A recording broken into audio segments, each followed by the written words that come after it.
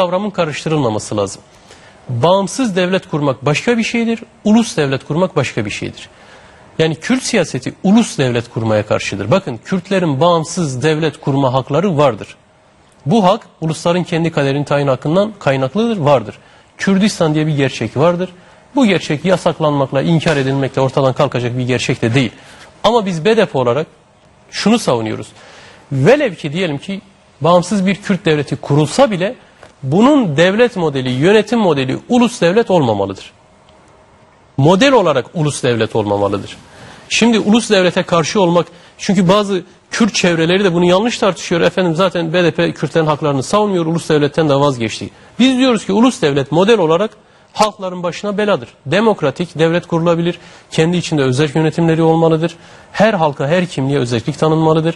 Yarın bir gün Kürtler Kürdistan'ı da kursa kendi içinde farklı kesimler vardır Kürdistan'ın. Onlara özellik tanınmalıdır.